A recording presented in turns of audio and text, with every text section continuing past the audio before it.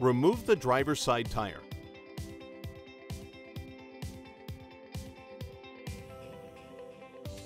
Remove all fasteners from splash shield.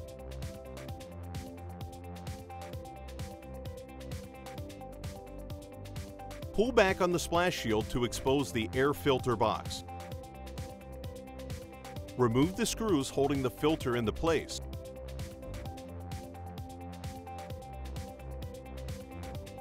Next, remove the front fasteners from inner fender liner.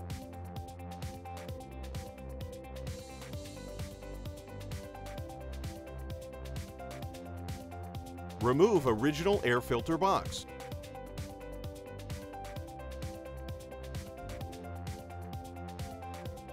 Replace with the redesigned air filter box.